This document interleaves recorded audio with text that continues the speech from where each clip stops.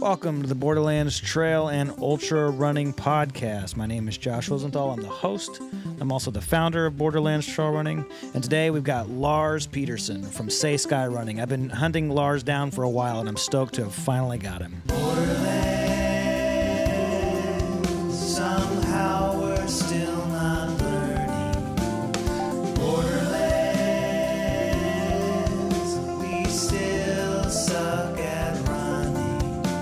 Today I'm coming to you from my apartment in Paris. It's kind of loud outside. I, I live in the 6th arrondissement.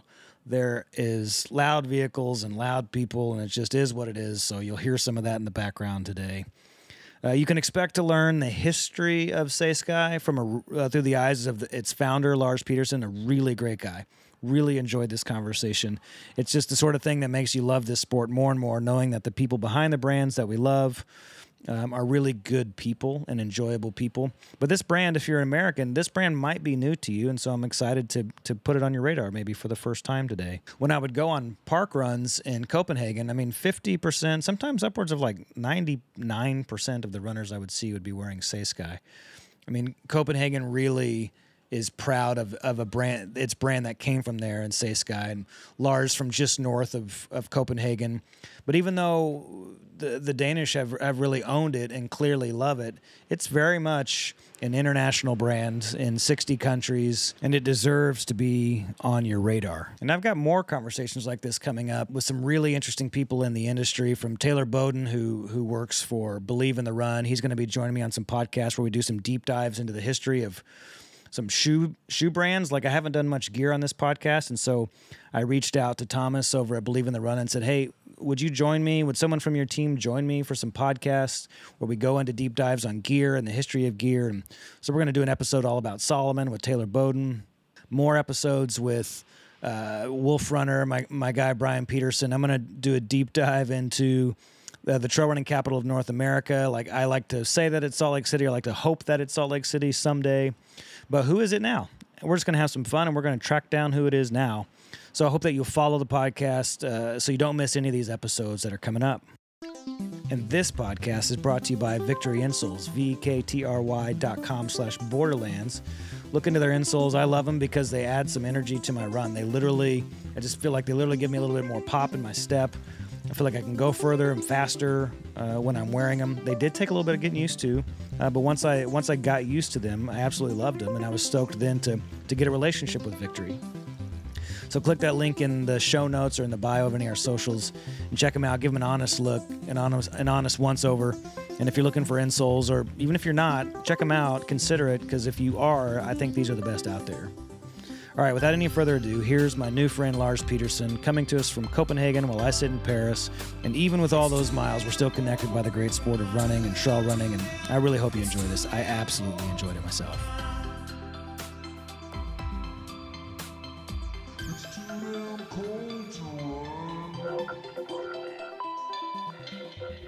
As a lot of you may know, I spent uh, six weeks this summer, and then like a couple years ago, I spent another six weeks in Copenhagen.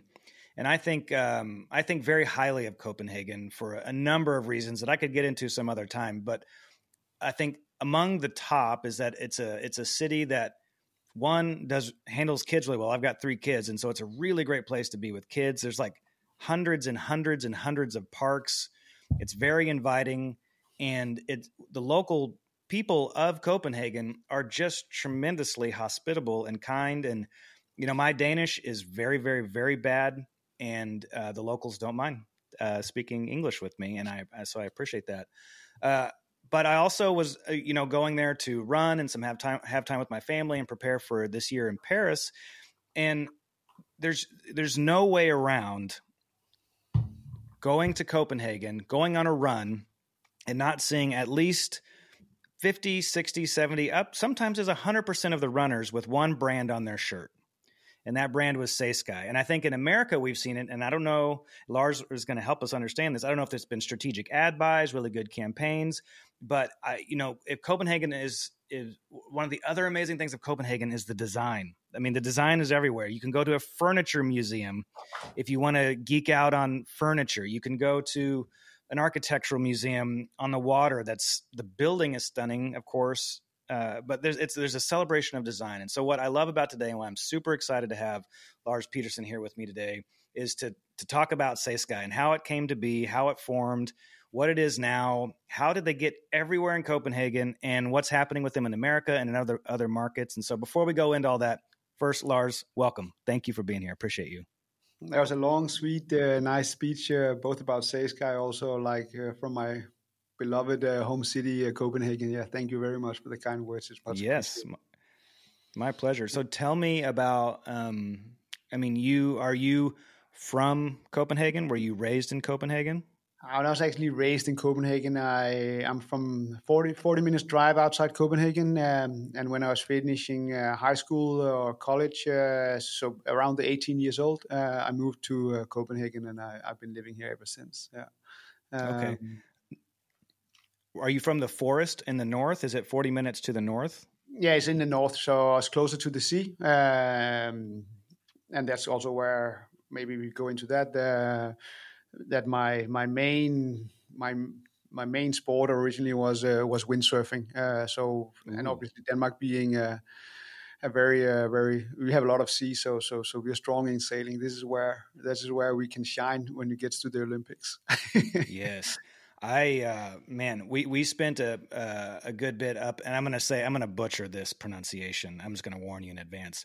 Frederiksværk. Yeah, I'm from Frederiksværk. That's exactly where That's I'm it. From. Okay, that's where I spent. I spent a good bit of time in Frederiksværk. I mean, there's yeah. that nice little main street. We were just outside. There's a so there's a lake, yeah. and we were just kind of we were real close to that lake before okay. we went up north to yeah. um, all the beaches. Yeah, yeah, yeah, but that's it. No, but so so we are close to the beaches, and it was a nice place to grow up. Uh, everything was. Uh, say pretty nice and calm, uh, but obviously also either uh, you move straight away uh, when you finish college or you stay there forever. Yeah. I guess. Um, I yes. guess that goes for a lot yeah, of, I'm uh, from a similar town in America that's very small, and you either it, yeah. most people kind of get out and go when it comes time for college. Yeah, but that's it. No, but that's it. So when you went into Copenhagen, um, you know, let's say you, you, were were you immediately into running? Did you come by way? Did you come into running so by windsurfing? But yeah. were you a triathlete? Like what what was your journey toward running? Uh, yes, uh, yeah. It, it, the story is, is, is long and not uh, not that uh, straight. So so I've been professional windsurfing and I've been seven seven years on the national team. Um, uh, I uh, so when I moved to, to Copenhagen, I was obviously already windsurfing and so on and I needed a, a, job after college to, to earn some money before I could uh, go training for the winter in Australia. So, so that was pretty much why I moved to, to, to, Copenhagen. I'm from a divorced family, so my father lived in Copenhagen and my mother lived uh, in my what you call home birth town, uh, home mm-hmm. birth um, house. Uh, mm-hmm. No, so on, it wasn't. Uh, so I picked up. Uh, so I stopped my. I did my last World Championships, World Cup, and so on in in 2004 and I got the chance to run uh, New York Marathon in 2007. Okay. So so so yeah. Now it seems like it doesn't seem like ages away, but when you when you start counting the years, it's like ages away, right? Yeah, yeah, yeah. So uh, so 07 was the marathon, and then I mean, did that did that just hook you into running, or did you arrive into SaySky from just seeing a business opportunity? Were you were you no, a business minded no, so, person? So, so, so uh, let me um, so so after I finished that the whole competition thing in uh, in the windsurfing business, so you can say, and I've been in windsurfing and involved with surfing, Quiksilver, uh, rip curl, so on. Uh, I would say almost almost li- all my life since I was pretty much twelve, I think. Um, wow. And I missed I missed the competition and I missed like going all out. Uh, the, the, the form of windsurfing I was doing was uh, racing. So it was it's, they we were getting high pulse at, at some stages, right? Uh, at doing doing every race.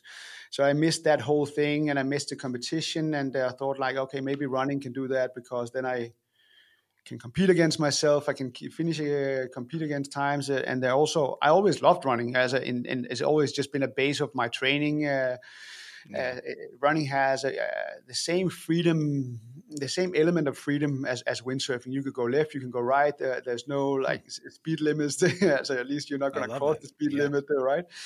And you can explore, right? And you can. Uh, so obviously, you're, in windsurf, you are a little bit depending on the wind, but you could you could basically train whenever you want. Um, And with with running, you can do that even more. It's just picking up and going. And there was no as a, at that time there was no equipment. That it was windsurfing was a lot was very uh, equipment heavy. When I was traveling, uh, I was traveling with 300 kilos uh, overweight uh, in the airport, which is like huge, right? Uh, Yeah. um, so just that with with traveling with your with your running shoes uh, would, was very easy. And uh, my brother lives in New York, and uh, I thought, okay, New York, uh, I want to visit him, and uh, let me try to run a marathon. I asked him if he could get me in. He could not, uh, but at that time the the it wasn't that e- difficult to get in. I think. Um, So I ran I ran uh, the, the New York Marathon. I was charging for because I heard from from other runners uh, that a three hour sub three hour that would be a respectable time. Absolutely. I said, okay, this is what I'm going to charge for. Uh, and uh, I started training in my just I was just running in my board shorts and my cotton tank, um, and I realized on the long run that I needed um, performance wear, right? Because I start getting shafting uh, around the waist, and uh, and I thought, okay, I better get into some running gear.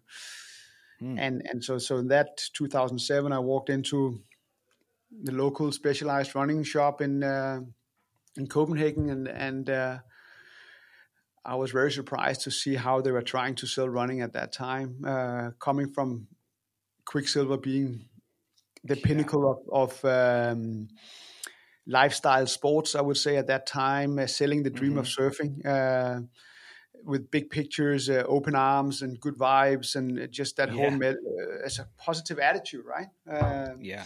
coming into the running store, white walls, uh, clothing hanging, this and that, uh, no pictures, uh, no no real heroes or the guys. As a, at that time, I guess running was also more introvert kind of sport, um, and I thought, okay, this this is not how I see myself, um, and I think we can present this in a different way. And hmm. so, for a couple of years, just sidetrack. For a couple of years, I was just Yeah. what do you call it? I wouldn't say complaining, but I just said, hey, why don't running sell themselves in a different way? It's, it's it's such a nice sport. It's so accessible. It's it's for mm-hmm. the rich and the poor. It's, it's like it has no boundaries. Why why don't hmm. just be more extrovert, more welcoming, and uh, why is it all about the suffering? Um, and so sidetrack. So so I get the clothing, I buy the I, I buy the performance gear, and I go training, and I, I run that marathon. And I knew when the, when I was on the starting line, I was not going to do the three hours. So I did I did three nineteen. Uh, obviously, then uh, as my competitive driver said, "Hey, I need to do that again. I I know exactly what I did wrong. I need more long Yeah. runs." I go to the local um, run club. Uh, they have those Sunday training for the Copenhagen Marathon, which was so the New York is in autumn. The, the first marathon in uh, the, the Copenhagen Marathon is in spring, giving me all winter to train. So I joined up every Sunday for those uh, long runs, and that's where I met fantastic people. Uh, it was a whole new thing for me to to do sport and talk on the go.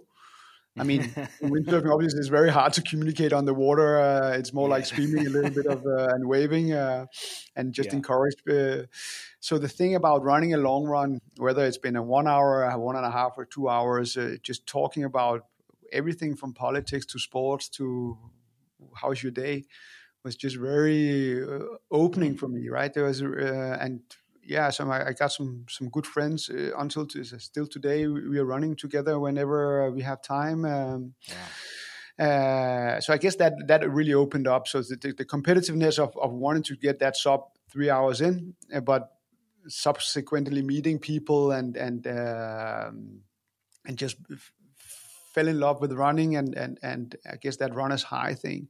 Uh, So in 2008, I cracked the, that that spring. I, I cracked the three hours. What happens? You Oh, want to nice. go faster? You want to go faster?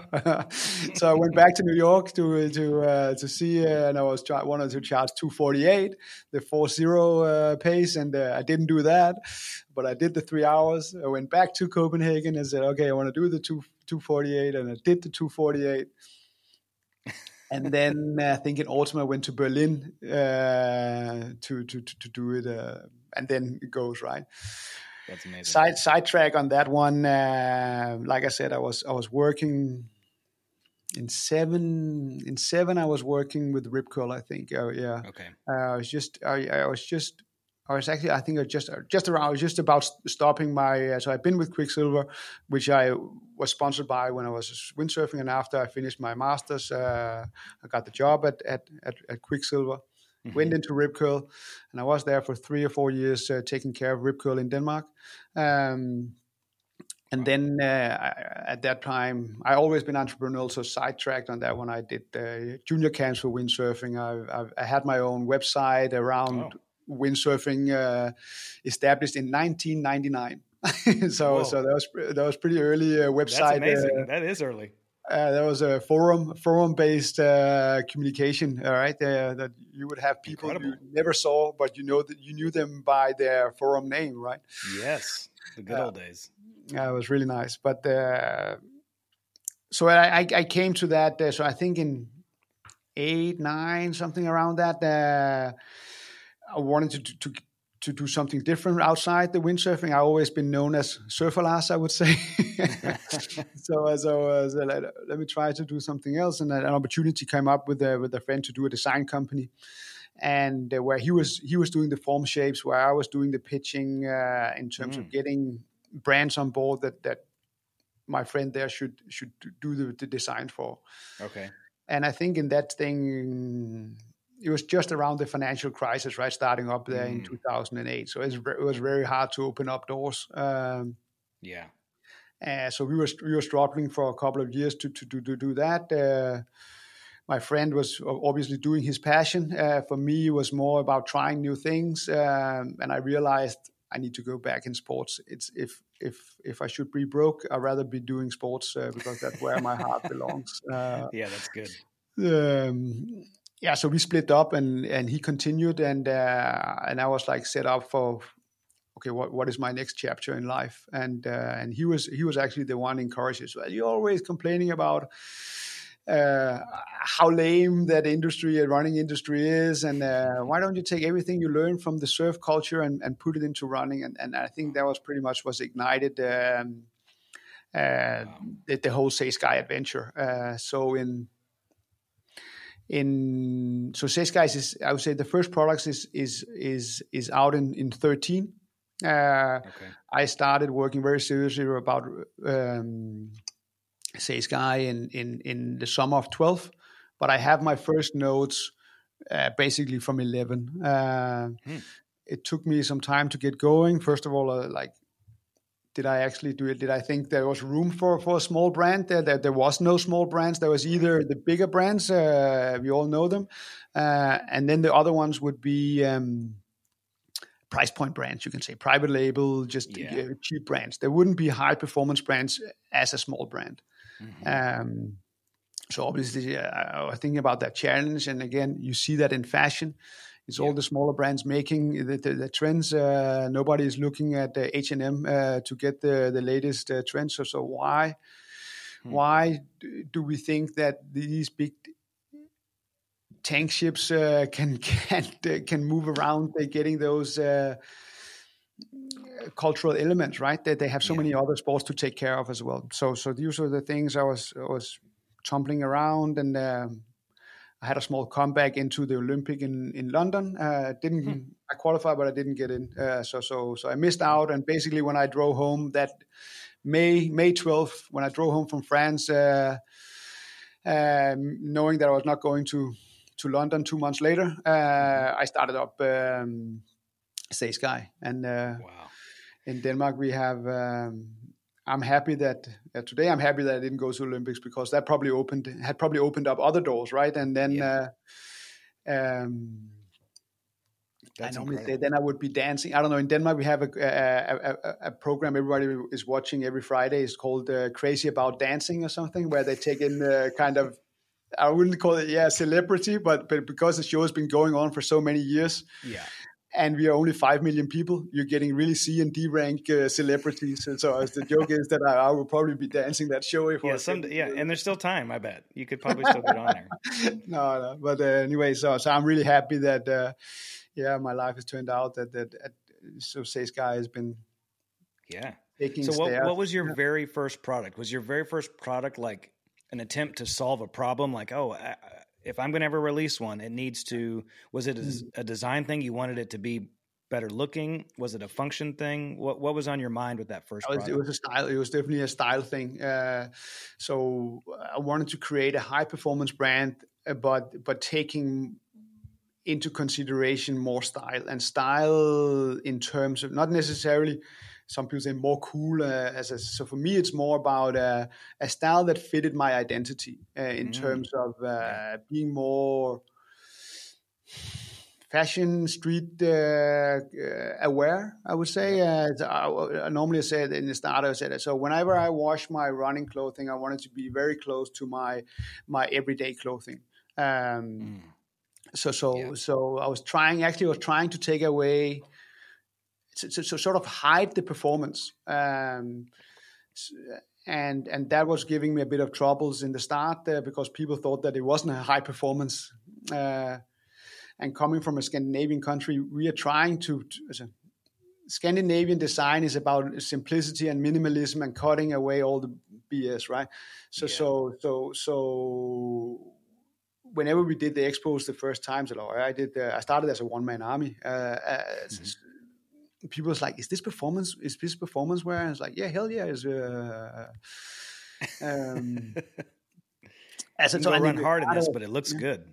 yeah, thanks, thanks. Uh, oh, today we're using uh, super complex yarn from uh, all over the world, uh, but a lot from Japan. So, so, so, and Mhm. and and some of the fabric is is is just too niche to to fit in the the bigger brands. Uh, so, so, so, yeah, like I said, they're too niche. Um, Yeah. so I would definitely uh, anyway. Um, but the first products we made was t-shirts, shorts. I, I guess our, our shorts is a little bit um, less wide in the legs because uh, hmm I didn't really want to. At, at that time, I, I I was still the surfer and I didn't. I cared about my long board shorts and uh, and I didn't want to run in split shorts because my son my legs has never have any sun. You know that high up. So it, it was looking pretty strange when I was running in, uh, in shorts. So, so let's let's make let, let's make them a little bit longer, uh, and then as a, to- as today it's called the, the pace and the two in one shorts in, in our products. They they have not been changed since uh, since we started. Wow. They're called five inch, but they, in fact they're not five inch because they are set out. I just made a mark on my leg where I wanted them, so they are they were.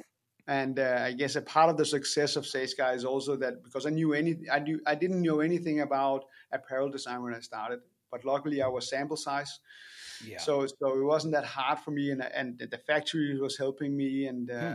so on. So so so so again, I hope that the, the, at least I think that also now that we haven't changed the the, the, the shorts for, for, for eleven years, that yeah, they it, they they were solid when they came out. I think. Yeah. Um, but uh, yeah, so they're like four point seven inch, I think. Um, I love that. So w- one at that time we observation. have- yeah, yeah. Well, I was just going to say an observation that I make about Copenhagen is that there is a deep connection with Japan, and I seems like it's a design thing. There's like a minimalism. There's some sort of connection that Copenhagen has with Japan. So since you mentioned that, and it seems like it's expressed some, and you know, in how you're designing your clothes, how would you characterize the connection between Copenhagen and Japan?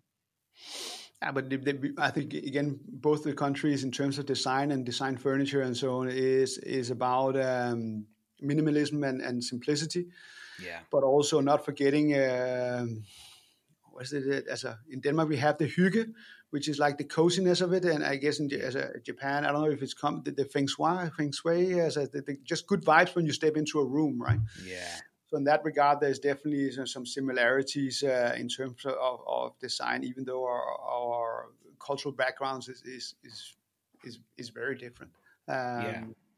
But when I, I talked to um, Brice Partouche about um, Satisfy running at some point because he's coming out of Paris, and it's you know what does it mean to be uniquely Paris in, in your clothing design? What does it mean to be uniquely American in your clothing design? And Brice said in Paris, it's just you know luxury is is ingrained. That's what it means to be Parisian is to think luxury, and so that comes out in his design. Yeah. For you, what I love about SaySky when I see it, like, and you just pointed to it, like it's the sort of stuff you could wear it for a run and you could wear it like just around town. And Yeah, it's, way and more. really- as a- not way more, but we are democratic. Uh, so so, so uh, that's also why H and M, uh, IKEA, and so on. Mm. Uh, so, so we, the, the Scandinavian people is not is about usable things, and I think that's uh, Mm. again back to the minimalism and the and and and, and simplicity. So. We, we, we, we care about also the, the, the usability of the things. So if you're designing a chair, it needs to be be nice to sit in. It cannot just yes.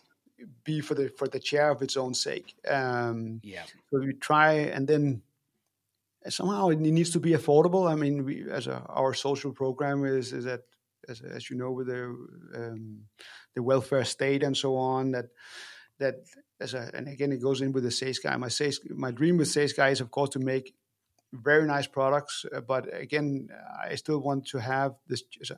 And I know the SaySky is still is still pricey compared to some of the private labels. If you walk into some of the as a, the ones who's really targeting price, but but we want to make a decent product that can that can la- last long, and but still also that student can uh, can afford. But of course, Mhm. of course we're also making uh, 3L jackets that were fully seamed and so on, where it's it's just not for everyone because uh, it's just too expensive. But it's a Yeah. damn nice product, and They are. uh, it- and I uh, think one of the things that stands out is also your your prints, like what you the the design that's that's on them. And so, like even for those who are who are watching and they see just like the design behind you, those wooden slats, like you know, my observation of Denmark, and and you're kind of giving me some better language for this, is that you don't waste you don't waste space.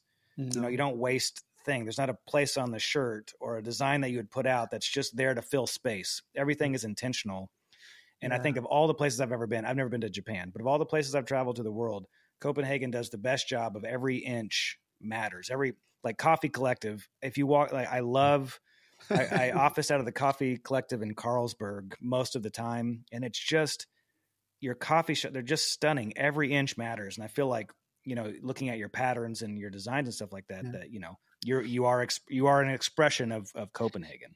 and I would say, uh, of, of course, also so a lot of our design and also the a lot of the design we got recognized for uh, in and still are is of course some of our prints. And like I said, as a we are a performance brand, and, and if you are performance driven, you would most likely turn up to some races. And for me, the races is our party.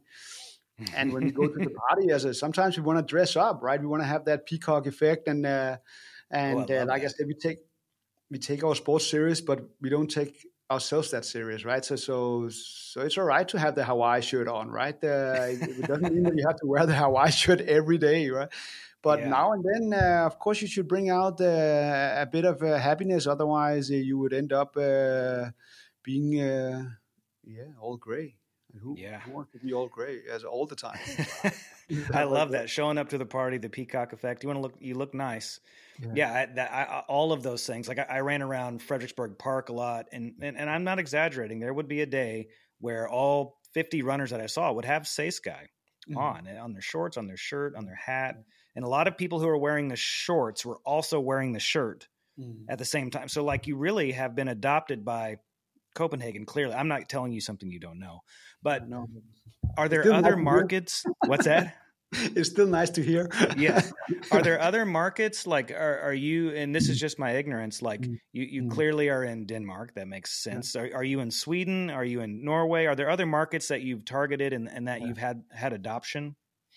So the whole, as a, again, also coming from Denmark, um, we have five, maybe 5.5 million people. So if you want to create something, you need to work together with other people. Uh, that that reflects the Denmark's engagement in in the EU, but also on a broader level that we need to expand. We need to live on export uh, things. And and so for me, it's never been about creating a brand for the for, for, for Denmark, but creating an international brand. Mm. Uh, also being a niche brand, I was dreaming about people logging into the website as a sitting in Seoul, sitting in uh, Mm. Salt Lake City, and say, "Hey, I'm going to be the one uh, showing up to my next run with uh, a SaySky," and then people's going to ask me, "What? What is that?" Uh, and then say, "Hey, but that's that." brand from Denmark I found on the internet. That was my whole dream. Mm. Back to that forum. Yeah, yeah, yeah. Back to you, thing, you, right? you were you Uh, were ahead of your time on being connected to the world in that way. So, but um, so today, as a day, the Danish market is around thirty-five percent of our total uh, turnover. Oh. So, so it's not as a. I would say, that's one of the things I'm proud of is that if we look at a, a full year circle, we'll probably be sending products out to around 60, um, 50 to 60 countries around the world because we ship wow. worldwide. Uh, Germany, uh, UK being our um, uh, second and third, Japan okay. coming in strong uh, oh, cool. as, as as fourth. Uh, yeah, due to we have a very we have a very uh, nice um, distributor out there who understands how we want to grow awesome. things. And then US is coming in. Um, that's great. Yeah, so that's good. And then yeah, it goes down, but the, that's the, the, that's the the big five. Um, so, are you um, direct to consumer in all of these markets, or do you have a retail strategy? So, we want to have retail. I definitely believe that that uh, brick and mortar has a place in, uh, especially when we're talking about lifestyle sports. Uh, yeah. We're only targeting uh, specialized uh, retailers, uh, so they mean that they need to have staff that can to talk about it. I wouldn't say educate, but you can just walk the talk and talk to you. So when you walk Absolutely. in, if it's a Danish store. Um, and you run a, and you ask about Copenhagen Marathon, they would know the full course and uh, what to look after, right? Uh, mm. I don't want to have somebody who's walking in and say, "Oh, I, but I'm not running." But yeah, sales guy is over there. You can just. Uh, uh, so we want to so we want to embrace culture as that that I think that's uh, we are a community and cultural uh, driven company. We want to walk the talk, and we want to um, we want to make sure that the people we are trying to to enroll in our retail program is also making the pie bigger. Mm. Uh, so yes, we so we have retail uh, wholesale as a we have re- retail in the, in the US. Uh, we have it in as a, in quite a lot of countries, but that's incredible not everyone is uh, having the same eagerness to to to bring in smaller brands as uh, as we do. That's right. Um, uh, so, yeah. so that's definitely a challenge in the in the retail space. Yeah, and that's REI, why we, I that's also why we are strong D2C. Yeah, REI is a, a, a major retailer in in America, and they've had problems. I mean, they during COVID, and this kind of transitions into my next questions that I'm mm-hmm. curious about. But you know, during COVID, there was this outdoor boom, and so there was a lot of sales, and so REI bought a ton of inventory, and then they had too much inventory, and uh, you know that's you know one of the problems that we had. But there's there's this book, uh, Born to Run, very popular in America. I don't know if it came. I don't know how big it was worldwide.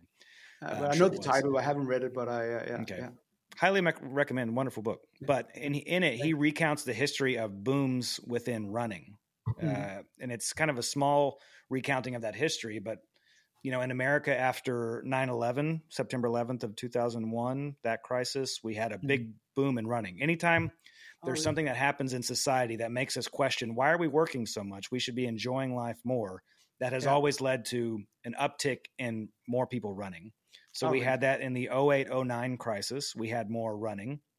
Another smaller crisis, 13 14, boom and running. And then COVID. COVID was a big time. Again, REI kind of got caught on its heels uh, because they had too much inventory, but it's because so many people were buying. What, what, was your experience with that? As uh, I mean, I mean, there's obviously lots of challenges with COVID, but mm. was there a boom? Did you see a boom in running and, and consumers buying your products? Well, you could definitely like I also heard about the booming and and and uh, but I think one of the successes and why we're still independent uh, until today uh, is that that we've been taking baby steps every year in the right direction, pretty stable organic growth. Um, so we didn't really ramp up the inventory uh, during that uh, that time, and mm. so so we were actually keeping our numbers. And it, it, could be that we were those years we were saved uh, that the numbers would have been uh, bad uh, it's hard to say but i can just uh, tell you that they were reflecting pretty much what we've done all the time. Um, and at the same time coming back 2022 23 as a, our biggest problem has been that we have we had low, uh, low stock it's actually mm. been yeah uh, where you say, so we could probably have been, yeah, we could we could definitely have been selling more if we had more stock, but at the same time, we're in a very good place, and that uh, I'm happy to say that also to my team that uh, yeah that uh, it's not like oh we thought that it was going through, through the sky, um, so these guys they can walk in and they is a we have enough. Uh, fuck you leverage. Uh, sorry, uh, You can say uh, whatever you want. lever- uh, leverage, right? So, so Yeah. we don't have to. So, so we don't. There's no one who could come and tell us to to open up this and that store or Mm, uh, do it, Yeah. make this or that uh, pant because they think they can sell a lot of it or so on. So, so, so I like the, I like the freedom. yeah, I think you'll always, uh, you know, just just as an outsider, just you know, I, my my past isn't, you know, I've, I've opened a lot of businesses in my life. I've been an entrepreneur. I, I've only been in trail running for like two years, but doing this sort of media thing. Um, and so I love looking at business models, thinking about business models. I taught a little bit at the University of Utah about entrepreneurship. And so just observationally, I look at what you've chosen to what you chose to do there with keeping inventory reasonable and, you know, 10 years from now, you'll still be probably real happy Yeah. with that. I mean, everyone, you're probably real happy right now because a lot of people are hurting because of the too much inventory that's still kind of out there in the in the Yeah. market. But Yeah. um, what a great choice. Ah, it's That's- good. Uh, yeah, I, I'm just, I'm but SaySky is a fairy tale, and I'm just so grateful for, Yeah. for what we've been doing. And um, yeah, That's great. What what would you say is the um, like all right when when you're kind of dreaming with your team and I'm not looking for insider secrets here, but I'm just saying like hey, you dream like hey, wouldn't it be great if this happened or that happened? Is there like any like big dream that you have right now or is there anything that you think about or, or are you more of a you know, what's the next step I need to take? Are you a where 10 years from now kind of thinker or you know, what's the dream? What's the hope for SaySky right now? I so so with my background with Quiksilver. Um, Mm. I've seen I, I've seen what what growth also does to a brand when they're Yes. opening up doors or opening up uh, flagship stores far away from where where the the, Yes. the, the, the actual sport is going on. Like uh, as a whether it's been uh, opening a store uh, as a, a Boardriders club in in in uh, Times Square or uh, they were also in. Um, uh, what- is it called in um in Paris? Uh, sorry, I just lost that. The main street in Paris. Uh, Champs Elysees. Champs Elysees, exactly right. That, that, so they had shops there, right, and far away. uh, So, so, so obviously, when you when you draw crowds in and, and expanding your uh, your um, your customer group into people who who's maybe not surfing but wants to to to be looked at as a surfer, right? As a Yeah.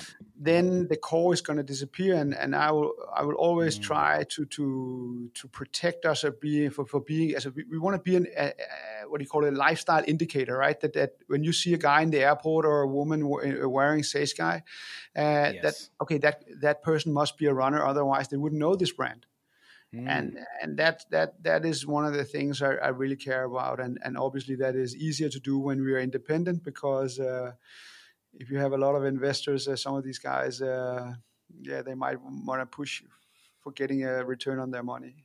Um, but but obviously so you never know but but but uh, so sometimes I wish we had maybe a little bit more muscle and being a little bit more risk carefree or whatever you say that uh, but at the same time as- long as we do baby steps in the right direction giving us more muscle we're just talking about okay do we want to go to the expo in uh, uh, for london marathon? It, it's such an expensive uh, travel and also because they're not in the eu so it's a hassle getting the, the now that they left uh, Yeah. getting the products over there getting the products behind, uh, back uh, so these are the things. It's more. It's it's it's smaller, down to earth uh, problems uh, Mhm. um, that I'm dreaming about solving. Um, uh, but again, um, hopefully we also here. As we're here for the long run. That's the thing. As that's what I Yeah. also say to the team. As a, and uh, we just want to. I I, I would just Yeah, want to go run as as a, as a, as a- as a, well, I um, think so. You you uh, okay? Is my math right? Eleven years. 11 years, right? So, so I guess I probably say that we were we were the first ones to really go on that first wave. You had On and, and Hoka going first in the footwear, uh, but in, in terms of apparel, uh, we were the first one to bring out that small niche brand trying to do Yes. trying to run down an altered path. Uh, Yes. and you saw after the boom, there's been a second wave. Uh, so, so, so the running industry has definitely been moving over the last, I don't know, yeah, 11, 11, 13. I don't know when it is. I think on is from 10. Uh, so let's say 15 really? years, right? Okay. Yeah, I would say what I admire um, about what you're what you're saying with your business model is that you you say there's baby steps, and so you know now you're 60 countries, but you're 11 years in, and so maybe every year has felt a strain of growth, but never. And maybe maybe you can correct me if I'm wrong. Maybe there's No, been some years where it felt like too much. But was every year did it feel like you were growing in a manageable amount? Yeah, yeah, and and, and I think it is. I guess we've probably been growing pretty much thirty percent every year, uh, and and um, so that means that we are doubling every third year, right? Uh, Or a little bit before three years, but but uh, so obviously the chunks of, of growing today is a lot bigger than growing. Um, uh, after 30% at now is right? Yeah, yeah, yeah, huge. sure, yeah. Uh, so now it, it's a like I said. Uh, so if you're growing thirty percent now, it means that we have to hire maybe five, six new people, where before it was just half a person. so that, Yeah. that that gives us some challenge being in Copenhagen again with a small. Yeah, but it's a, it would be easier if we were in uh, in Germany, I think. But again, Yeah. you always think life is easier somewhere else. Sure. Di- In in being in Copenhagen and in Denmark, does the government, um, uh, you know, like capital, like when you're growing twenty to Mm-hmm. thirty percent, you you've probably got to have still some capital to be able to do that. Maybe, maybe not. But like, what's Yeah, the but like? How's I the borrowing like? Like, what's what's it like? Does does the government like support its entrepreneurs? Uh, I, uh, not not really actually. There's a lot of discussion if if we are. Some say we are very strong in entrepreneurial, and some say we are not strong enough. Right? I guess there's always, but Yeah. uh, we were, we we we always been uh, doing everything ourselves. Um, I think w- our luck has been that we've been very strong online from from the start.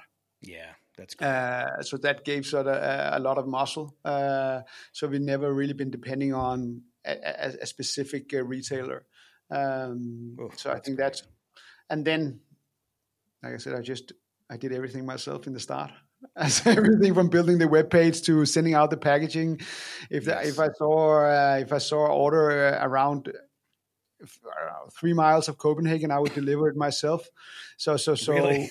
yeah, yeah, yeah, yeah. So so yeah, because I was I was like, okay, that's that's one meal, right? And then you would go. Um, so I, and I guess that's also founded in the country, uh, our culture today that that we fix we mostly fix things ourselves. We don't we do things in house. Um, and then yeah, it's just Wow. yeah, I don't know, just I love yeah. that. All right, so as we sort of get close to wrapping up here, I, I'm curious what what is the what do you want the world to know? We're assuming that the world is listening to this podcast, but let's assume they were.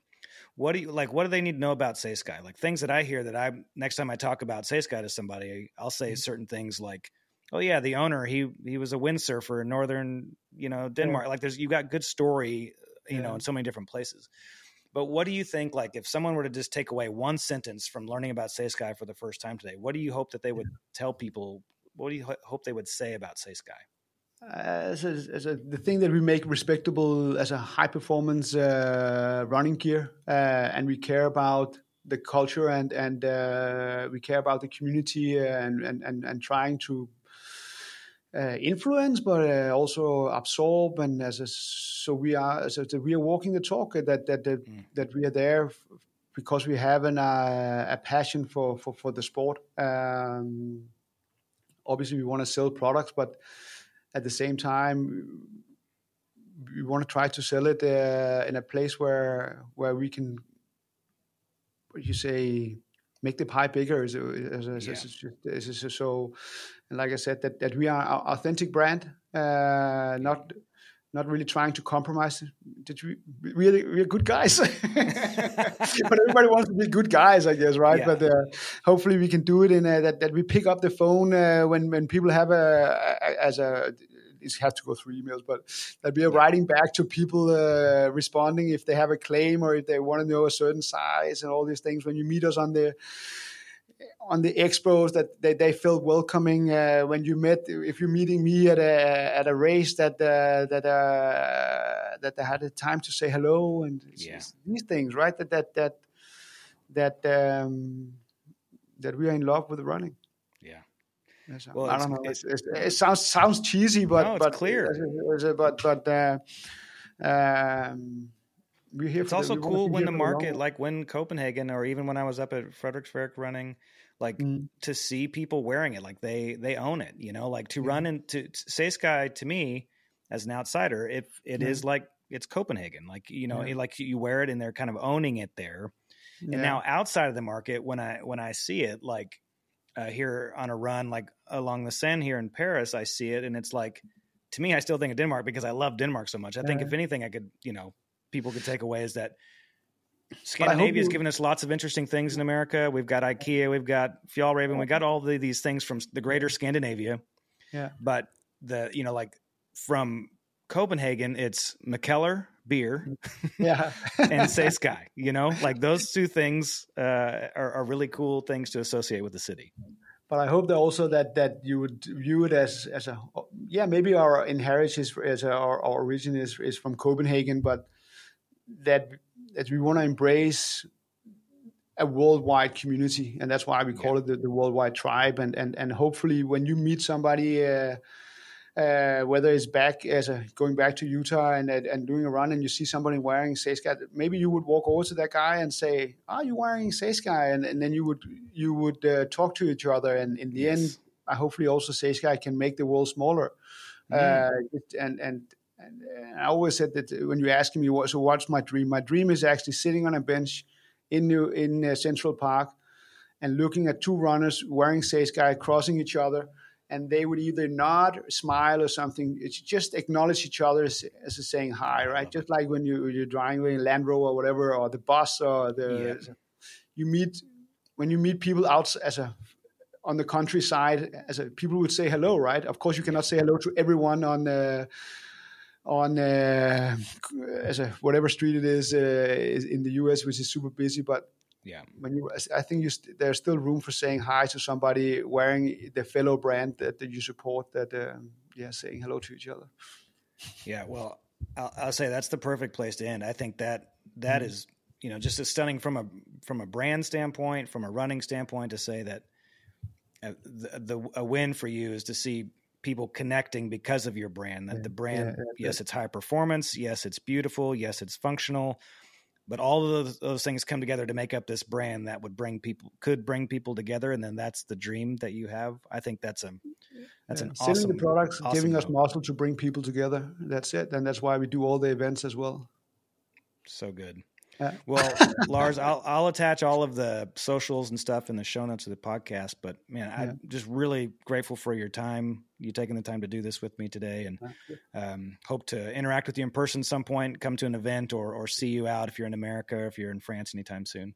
Yeah, yeah. Thank you uh, very much, and uh, I- again, I appreciate the time here and the voice and the, the, the muscle you have to bring out the, the message is, uh, is, is so much appreciated. Uh, thanks. My pleasure. See you next time.